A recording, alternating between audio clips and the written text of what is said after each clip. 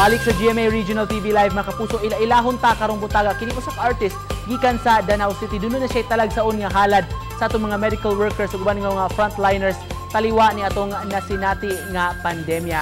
Makauban nato karong butaga mga kapuso si Mr. Victor Lawasco. Good morning Sir Victor. Ngayong buntag, sir. We learned sir do na kay halad sa atong mga medical workers, mga frontliners nining pandemya andam ka mohatag mo buhat og scribble nga portrait kanu sa ka nagsugod ani Sir Victor Ah, nag-start ko bali og post sa kung kinsay ganahan o interesadong magpa-portrait sa mga frontliners. Basta frontliners, libre siya na akong ihatag or mga volunteers. Nagsugod sukad pa July 29. Mhm. Mhm.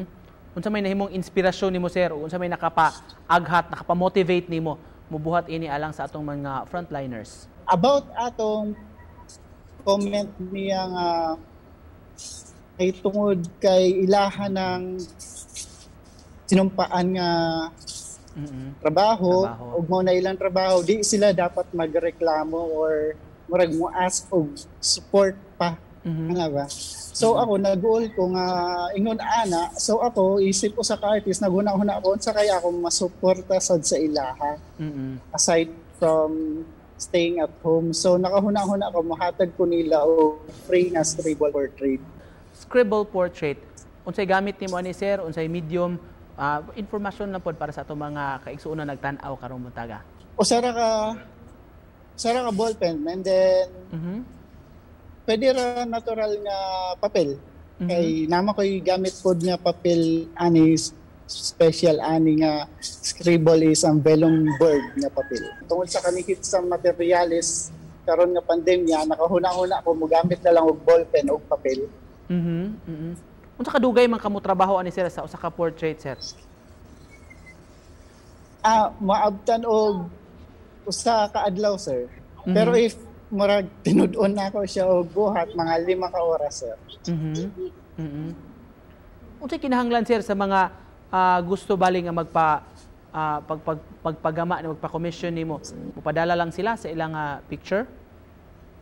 Ah, basta basta frontliner jud sila sir, wala na kinahanglan requirements. Message lang sila na kung ganahan silang magpabuhat, then mubuhat ko libre. Gawas sa mga medical frontliners sir, sir Victor nalakip mga of, pulis, sundao, siguro uban mga sakop sa media, uban pa nga mga ni serbisyo sa COVID-19, mahuhi Yes, sir. mahimo nimo ma-cater, ma-accommodate kanang panahon na? Ah, yes sir. Bali appeal po da mga volunteers sir. Tanan nga murag nihatag og serbisyo Mm-mm. para batok aning COVID-19 sir. Pwede mo mo message sa ako ah. Then basta qualified basta inana lang ni serbisyo sir. Libre kaayo sir. Mhm. Finally, Sir Vic, unsa may imong buot ipasabot, ipaambit bali nga mensahe alang sa aton nga mga frontliners nga nagserbisyo karong panahon na og so ang nila pag-contact sa imo Sir Vic kung gusto sila magpabuhat. Well, first, daghan jud kayong salamat sa inyong serbisyo. So, if interesado mo nga magpa-drawing, libre ra kini siya. Ang artwork mismo po, libre ra if taga da- danaw mo or dool mo, meet up lang or pick up. Thank you so much sir sa imong dalaygon sab nga buhat alang sa atong mga frontliners nga nagserbisyo karong panahon na. Thank you so much ang artist nga si Mr. Victor ko. Daghang salamat. Salamat po sir.